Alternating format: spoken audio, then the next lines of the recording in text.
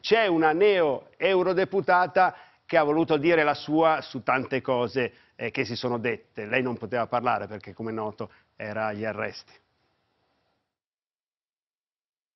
Sono stata una militante del movimento della lotta per la casa. In una delle città con gli affitti più cari mi batterò per il diritto all'abitare è il manifesto della neo parlamentare europea dell'Alleanza Verdi-Sinistra, Ilaria Salis. Da quando era rientrata sabato scorso da Budapest, dopo la revoca degli arresti domiciliari e si era chiusa in casa dei genitori a Monza, Ilaria Salis, eccetto un paio di foto pubblicate sui social, non aveva dichiarato o scritto nulla e al suo posto a una festa di sinistra italiana si era videocollegato il padre Roberto. Il post di oggi su Instagram, diviso in sette schermate, diventa così la bandiera del suo mandato mandato elettorale.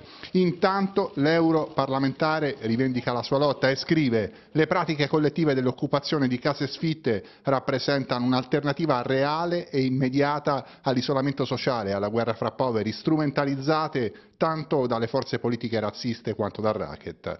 L'ALER, l'ente pubblico che gestisce il patrimonio dell'edilizia popolare regionale, quello comunale gestito da Metropolitana Milanese, rivendica un buco di 90.000 euro lasciato da Ilaria Salis. Per 16 anni la donna avrebbe occupato una casa abusivamente in zona Navigli. Un consigliere regionale di Fratelli d'Italia ha chiesto all'azienda pubblica di pignorare il suo stipendio da europarlamentare. La Salis contesta costa il debito. La richiesta è basata esclusivamente sul fatto che nel 2008 sono stata trovata all'interno di un appartamento Aller. Dice però che dopo, per 16 anni, non sono stati fatti altri controlli per verificare che abitasse davvero ancora lì e che non è stato avviato contro di lei alcun procedimento civile o penale per l'occupazione di quella casa. L'Aller poco fa ha replicato con un comunicato la quantificazione e la richiesta di un'indennità non sono un'opzione, ma un atto dovuto di buona amministrazione. L'Aller nella nota minaccia querele e rivendica il contrasto all'abusivismo perché, scrive l'azienda regionale,